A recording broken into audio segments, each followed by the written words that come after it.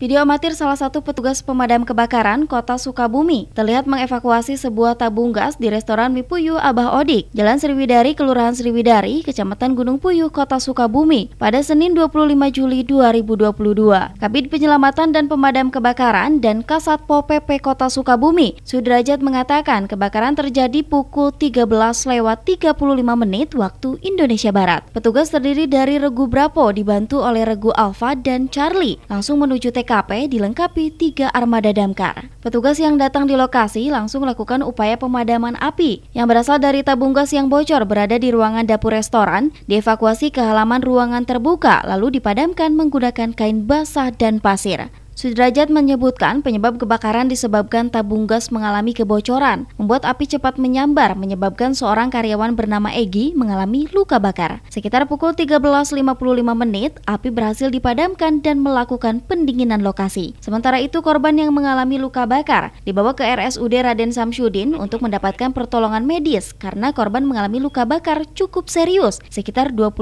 sampai 30 persen. Sedangkan kerugian dialami pihak restoran sekitar 100 juta rupiah. Dari kota Sukabumi, Iqbal Bakar melaporkan untuk Dinamika.